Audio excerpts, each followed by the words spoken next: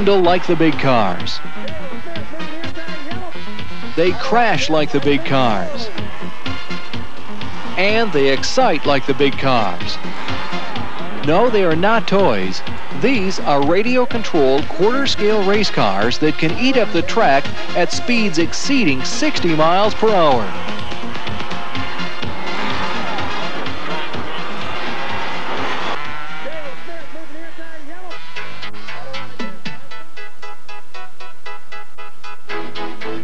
Welcome to the bright lights of exciting Las Vegas, host of the quarter and our vantage point as we stop to take a look at quarter scale racing at its best. Just like the full-size cars, quarter scale embraces the power of the super modified, the competition of the Grand Nationals, and the thrill of the outlaw sprint cars. From graceful motorcycles leaning into the turns without the aid of a third wheel to the biggest and baddest four-wheel drive monster trucks. Mechanics prepare these machines with the precision and know-how it takes to win. Pit crews ready to act in split-second time. And racers pushing their cars for that glorious checkered flag. Don't be fooled. This is the real McCoy. Quarter scale racing.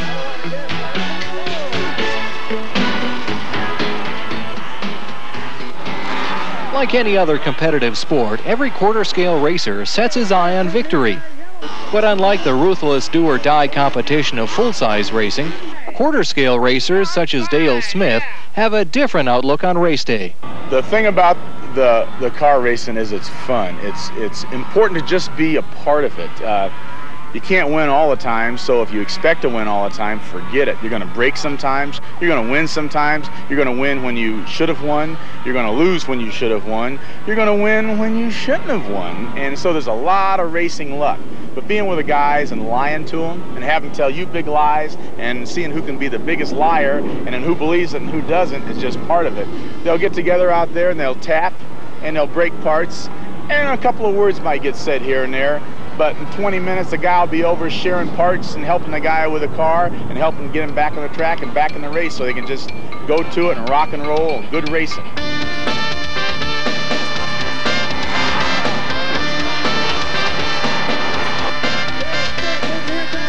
And good racing is what these quarter-scale radio-controlled cars are all about.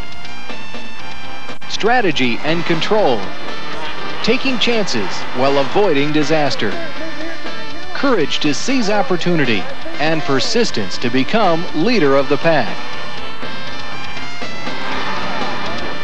But behind every vehicle that operates to full potential, behind every victory lies the expertise of mechanics and the ingenuity of designers. This behind-the-scenes dedication gives the driver that little extra handling advantage through the turns, that added burst of power that speeds his car first across the finish line. Quarter scale racer and designer John Ray, president of Rayco, took time out of his busy race day schedule to explain some of the features that make his cars the fastest in the business. Okay, this particular car is one of the three classes in quarter scale. It's a super modified car. As you can see, it has the styling of uh, much like an Indy car, which is the way the full-size super modified cars are going these days. It has fully independent front suspension and rear suspension. It has uh, rubber tires, much like the tires you would have on your family car, only one quarter size. They actually have the Goodyear logo on the tires, so they're uh, very authentic looking cars. The engine used in these cars is a 23cc weed eater engine, actually is what it is. They're designed to run on gasoline, but two of the classes, the sprint car class and the super modifieds, the majority of cars run on methanol. Which is the same kind of fuel that they use at the Indianapolis Motor Speedway for the speedway cars.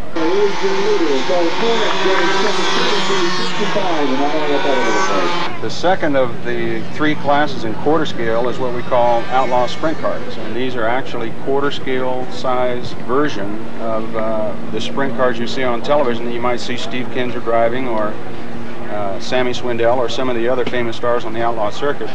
This is the lightest of the three classes. It's 19.5 pounds. So these cars have a little better acceleration uh, than the other two. As you can see, the suspension in the front is fully operational. Uh, these cars actually use stagger just like a full skies car would. And the right rear tire is actually somewhat larger than the left rear tire. And that's what helps the car go around the turn uh, as quickly as possible. The wing is made such that the two sideboards are staggered. In other words, this one's higher and this one lower. And that's so that when the car goes through the turns, uh, the wing provides the maximum side force from the air passing by the car uh, to make the car handle real well. The third class of cars in quarter scale is what we call Grand National cars or Winston Cup cars. This is the heaviest class of the cars. This car weighs 29.5 pounds. Many of the drivers paint the cars up uh, like Darrell Waltrip's car, like Dale Earnhardt's car. Uh, and that's why people and spectators relate to them so well is because they do resemble uh, right down to the detail in the hood and paint lines the, uh, the car that's seen on television every other Sunday. All of the classes boil down to who's the better driver uh, and who's the better mechanic at setting up the car.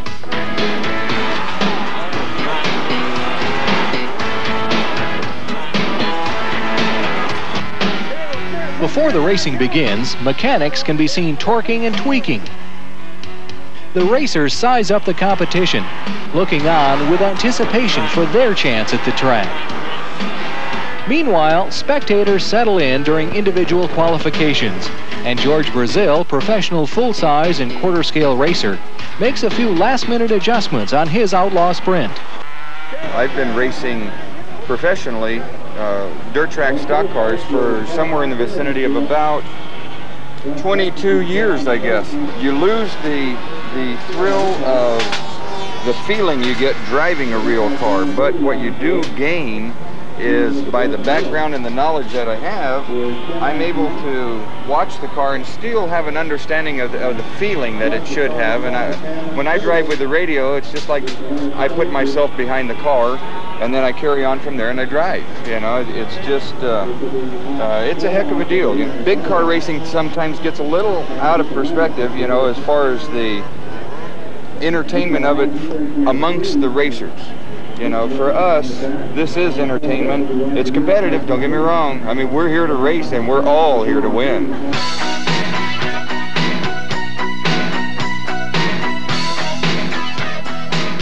Of course, not all the attention was on the cars. Before the racing began, we got a chance to see a demonstration of the exotic and realistic high-powered quarter-scale motorcycles raced by champion Jens Jorgensen of Denmark. Well, the bike works in that way that the, aero of the front wheel keeps the bikes up. And uh, when you have to turn, you, you, you turn directly on the, on the fork. When you turn to the left, the bike goes to the right. And that's what it's all about. It's just to limit that, that steering. Manufacturer Kenneth Harper of Live Performance explains some of the mechanics of the bike. The bike comes with a separated starting stand because the motor has no starter on, on board. And it uses a glow plug uh, ignition system, which you attach up front right in here. You start this uh, starter motor here, press the bike down onto the starter motor, and it engages the bike's flywheel. With a top speed of somewhere in the 55 to 60 mile an hour, this wheel is turning around 3,600 RPM. This is a steel chain that's lasted uh, over 300 hours on my first bike. It's geared two and a half to one to the rear transmission brake. The front brake is an aluminum disc, drilled and ventilated. Most of the stopping ability of the bike comes with the front wheel because as you decelerate, the weight changes to the front wheel. It is a trade-off when you race this bike. If you go into the turn too fast, the bike will slip out from underneath and you will fall and you lose time that way. If you go into a turn too slow, the bike could, conceivably could fall. So you have to be in a pocket at all, all the time. You can't be over anxious, you can't be too far behind. Unlike car racing, the bike does go down. You will spill. Even the best racer will go down two or three times. I think anybody who has an inclination toward gas-powered scale bikes or cars would have a terrific experience in building this and driving it.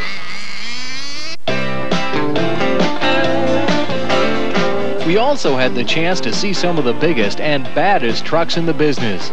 Stadium off-road trucks, two-wheel drive pulling trucks, and what has come to be known as Littlefoot, the four-wheel drive monster truck. No one could describe the features of these trucks better than the inventor of quarter scale racing, Jeff Schmidt. Jeff took us back to 1979 with his invention of the quarter scale sprint car, which has evolved into the trucks that now capture his imagination. The first cars back in 79, they could be related closer to a Model T probably than what we're running now. The original quarter scale cars that we had uh, were just flat pan cars with no rear suspension, um, no sophisticated drives or anything. Most of them had uh, chain or belt drives. Now we've gotten down where we have miniaturized quick change rear ends, where we can change the gear ratios to suit the track conditions. The suspension is all very sophisticated. Another thing we've gotten into just recently is, is off-road racing, and we have the uh, quarter scale stadium trucks now that are simulate the Mickey Thompson style races and getting into monster trucks, tractor pulls, the whole spectrum of cars that's being done now in quarter scale. This is a QRS Stadium off-road truck and it's built to really take a lot of abuse and high jumps and basically, you know, as you can see the desert style races and stadium races. Got lots of suspension. And we can get in here a little bit and look at some of the, the technical aspects of the car. Front is independent, front independent suspension with the A-arms. And you can see there's quite a bit of engineering that goes into the geometry and everything to eliminate bump steer and the different technical type things like that. This is a quarter scale racing specialties monster truck. It's their newest truck. Um, it's a four-wheel drive, four-wheel steer. You can see it's got some pretty good size flotation tires. Uses the same 23cc engine as we're using in the stadium trucks and most of the sprint cars and super modifieds we're running out here. This is an expansion chamber to extract the maximum horsepower out of the engine, which is, comes in handy in a vehicle like this. We can use all the horsepower we can get. Well, when it's all buttoned up, it makes a pretty nice package. And for anybody that's followed the full-size monster trucks, they've all heard of Bigfoot and everything. Everybody's kind of tagging this one Littlefoot. The exciting midgets, screaming motorcycles, outlaw sprints, Grand Nationals, Super Modified, even the monster trucks. A wide variety of different types of vehicles, and that same variety involved in quarter scale racing. These radio-controlled operators of the quarter scale car come in all sizes and shapes. All these people involved are what make up this family-type camaraderie of the quarter scale community. Race promoter and enthusiast Ken Higdon talks about the sport he enjoys most. The racers are all walks of life here. We have uh, gentlemen that are car dealers, some are construction people, builders, uh, in the hotel business. The people are always willing to help each other. When you get out on the track, there's, uh, it's, you go for it. But in the pit, something is broke, somebody will get you parts to help you out and uh, it's just it's just a great sport right now. Before the competition begins, the racers get together to go through rules and regulations with the CUSAC officials. Just like in full-size racing, there are strict codes that must be adhered to to ensure all the racers an equal chance on the track. Of course, the racers pose a lot of technical questions, and while the questions are direct, it all boils down to a race won on skill. At the end of the A main event, all of the cars stop on the racetrack. All of the cars stop on the racetrack. We're going to impound the top four cars. So it, when the A main events are over, nobody touches any car. until we determine who the top four are. Those cars will be impounded and put underneath the stand here, and they'll be torn down after the race is over. It's real simple. These engines are stock. The Rules read no modification. So if you've done anything that's illegal, whether No it's removing or adding to of any material. Will you reweigh the cars after the race? We will weigh the. Absolutely. We will also uh, check wings, and we will also check wheel tracks. You're within the limits or you're not. It's that simple. If you're, if one thing is one thousandths out of limit, that's not a margin. That's illegal. If you're going to make an engine that close, you've you've done something to it. You've taken a chance. Go away. There were also questions about transmitters and frequency pins, and Dale Smith took time out of his busy race day to explain. One of the unwritten laws or written laws is that you do not turn on the radio without a frequency pin. And it usually comes off a frequency board. They're closed pins, which are usually uh, painted the different colors, orange, red, blue, yellow, brown, whatever. Or they have like the 75 band on them. You go over to the frequency board, you take that clip, you put it on your radio, then you are allowed to turn on your radio and drive your car and check it and test it. Never, ever, never, ever, ever, never turn on the radio without the pin because you will send somebody's car into orbit and destroy their car and feel real bad about it and maybe get punched. When the whistle is blown, is the track green at the starting line or is the track green all the way around? When the whistle blows, the flag comes out, which you guys are going to have to put up with me today. When that whistle blows, let's go. He says, let's go.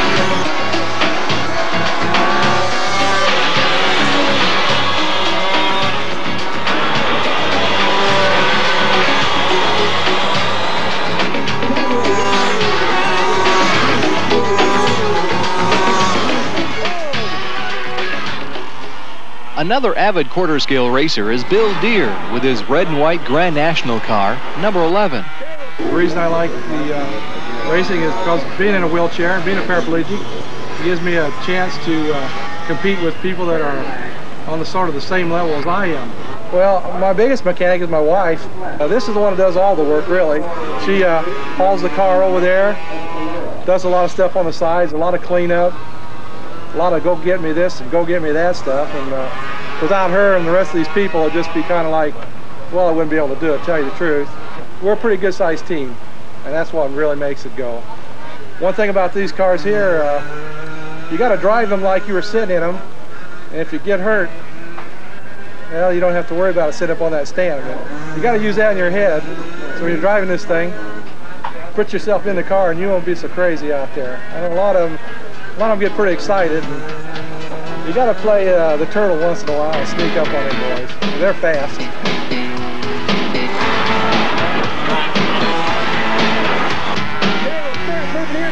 And play the turtle he does. Calm and collected, maneuvering within the pack. Mental concentration transmitted from steady hands on the radio to the gripping tires on the track. But Bill Deere is also fast. As the racing continues, red and white number 11 can be seen flying down the straightaway, waiting for just the right opportunity, then passing through the turn. Unsure of the placings, Sharon Deere waits for the results. If he just transfers now, he'll move up to the next main, D main. Okay, go find out.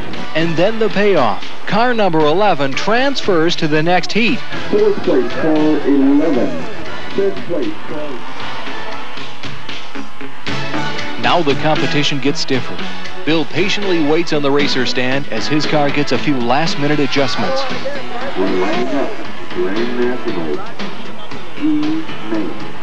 It's time to start the engines. A little last-minute good luck, and the race is underway.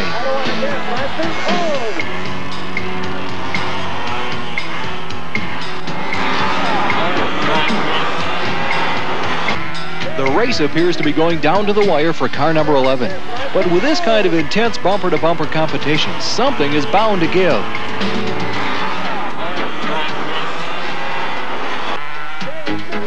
The last lap, just out of turn two, Bill receives an unlucky blow that throws him into the center of the track and out of the standings. Quarter scale races are often won or lost with this kind of action, but the enjoyment and friendships are still there. Apology accepted from a fellow racer. Sorry, I thought he was going to go out a little high. Verification of I'm the going cheer lap. the rest of them on. It's a good race. So it's back to the drawing board for Bill Deere's Grand National car, number 11.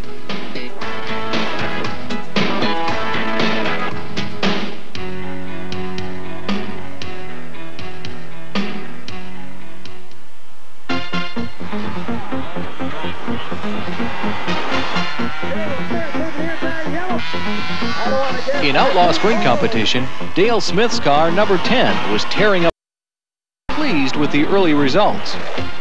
I got fourth. I transferred to another main. All right, time to work your way up. Way go. After a short rain delay, Smith and blue car number 10 were back at it, weaving in and out, trying to maintain that fourth position that would guarantee Smith yet another transfer. Then again, that old last lap disaster came to haunt number 10. This is going to be it, gentlemen. When you get the green flag, you're going to have a one-lap drag race. You're going to get the green and white simultaneously. Green flag, green flag. The position is for fourth position. Dale Smith goes high wins it. Later series, sixth series, that's a race. And Dale Smith, oh, what a heartbreaker. That is the race, gentlemen. Bring him in the pit. Got tapped by a car. Not good. Well, you can't win them all. You can't win them all.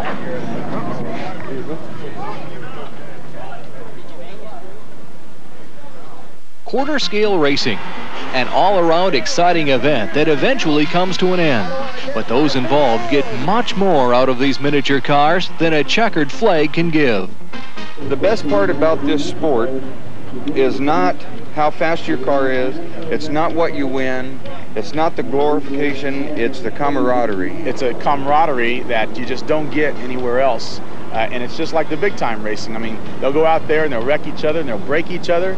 And there may be a couple of little words said here and there, but pretty soon they're, they're sharing parts and a guy's over trying to get the guy back in the race and they're tweaking and a torquing and a turning things on their car and trying to get the guy back in and, and so they can compete and beat his butt.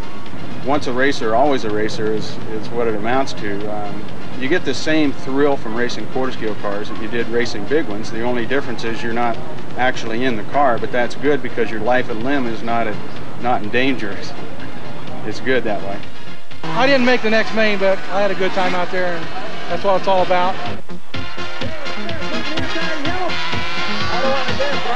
Just as in any other competitive sport, quarter scale racers do set their sights on victory, but the checkered flag is not their only reward.